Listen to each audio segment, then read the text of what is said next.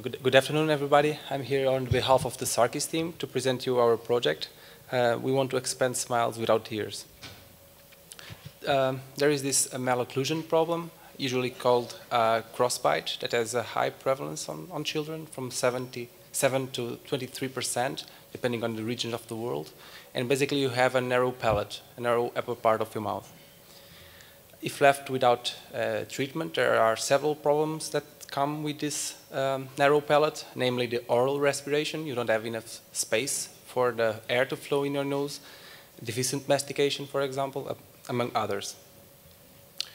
Well, there is currently a solution. Uh, this, this device, this uh, kind of screw that you tied up to the top of your mouth, uh, if you uh, turn the, the wrench of this screw every day, you get this step-by-step -step expansion and you have, like you can see on, on the right side of the screen, these forces that reach a peak in beginning of, uh, immediately after the activation and then decrease along the day. Um, well, these peaks of forces are of course not good. Uh, here we present the smart expander. Our idea is to provide a continuous and autonomous expansion uh, with a low force through all the process. Um, the device is a micro mechatronic device it's programmable. You can tailor your expansion for the, the, the patient. And the basic idea is uh, low force along the, the way.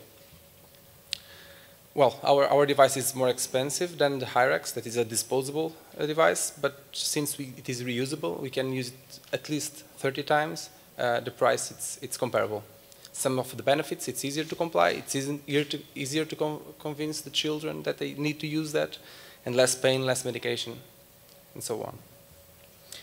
Our business model, we are not intending to, sell this device directly to dentists, uh, or at least small dentists. We are uh, using the dental labs um, uh, structure to, to be our, our um, sales force. They will be the ones that will receive the used uh, smart expanders and refurbish them to further use. And we will certify those labs, uh, sell docking pro uh, programming docks, and uh, of course sell the original smart expanders.